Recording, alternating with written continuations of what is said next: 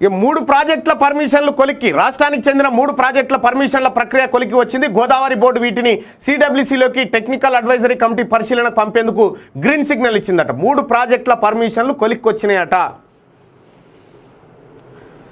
Fertilisers పై రైతులకు అరవై వేల కోట్ల సబ్సిడీ. దేశవ్యాప్తంగా రైతులకు ఫస్ట్ ఫెర్టిలైజర్స్ను తక్కువ ధరకు అందించేందుకు వీలుగా కేంద్ర ప్రభుత్వం అరవై వేల తొమ్మిది వందల ముప్పై తొమ్మిది పాయింట్ రెండు మూడు కోట్ల సబ్సిడీకి ఆమోదం తెలిపింది. ఇక కేంద్ర ప్రభుత్వం రైతన్నలారా మీ ఫర్టిలైజర్ మీ ఎరువుల పైన కేంద్ర ప్రభుత్వం రాయితీలు ఇస్తా ఉంది సబ్సిడీ ఇస్తా ఉంది. ఆ సబ్సిడీలు అరవై వేల కోట్లు. ఇక రెండు వేల పదిహేడులో మన చిచ్చా చెప్పిండుగా మరి కేసీఆర్ పుట్టింది అందుకే కావచ్చు అని ఇట్లా. కేసీఆర్ పుట్టింది అందుకే కావచ్చు.